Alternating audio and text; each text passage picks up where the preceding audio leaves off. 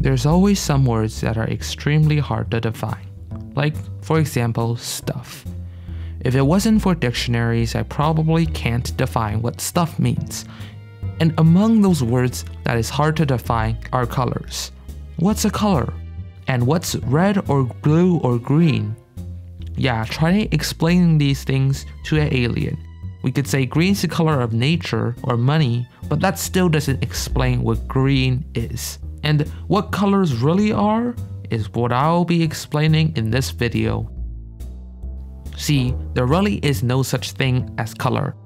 It's one of those words that humans make up for our own convenience, like time or money or literally 90% of the words we use. It's much easier to say, what color should I paint my fence? Rather than the more scientific. What material should I paint my fence so that when light reflects off its surface, the desired frequency of light enters our eyes? There's no color, there's only different frequencies of light. See, light is like a wave. Well, it's like a wave, but it's not necessarily a wave. Yeah, physics is complicated. The frequencies of the wave of light changes the color of the light. For example, red is from 400 to 484 terahertz and blue is light from 606 to 668.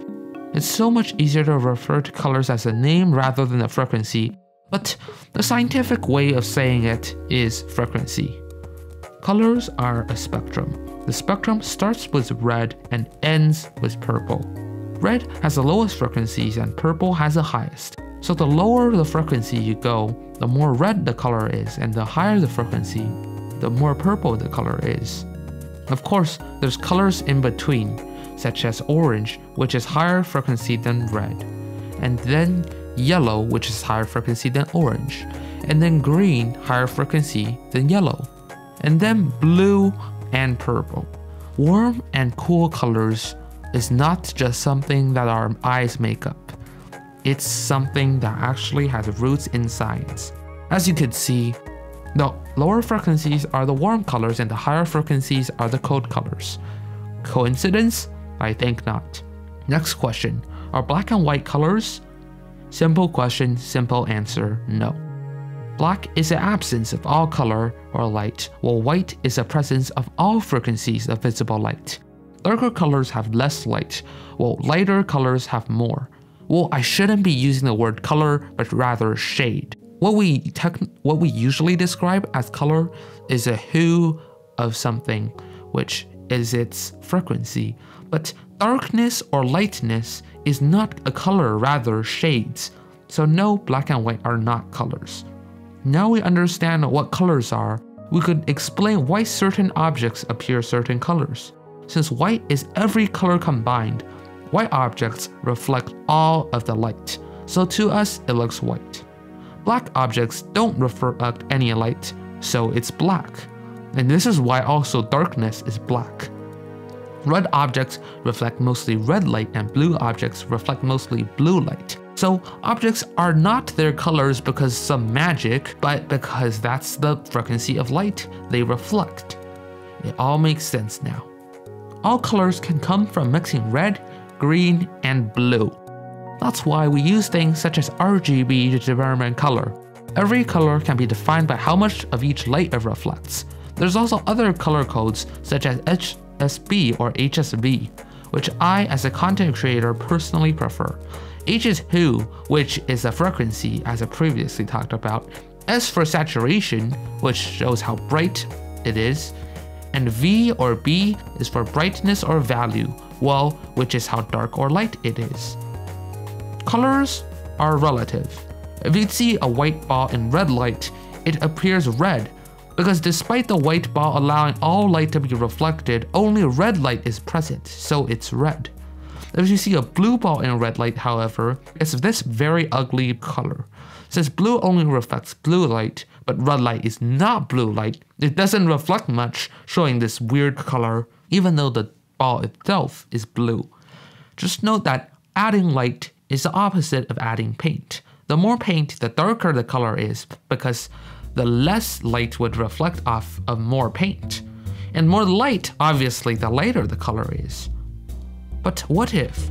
there was a color below or above the highest or lowest frequencies we talked about.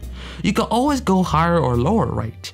So what if we went higher or lower than the visible spectrum? Introducing Infrared and Ultraviolet, the newest superhero anime. Uh, you can't see anything? Well, both infrared and ultraviolet are invisible to the human eye, which is incredibly fortunate since it saves me from actually drawing animated versions of light. But they still have lots of incredible powers. Infrared can be used to detect people even when there's no light outside. Hey, what the heck do you think you're doing? You stole my can of beans!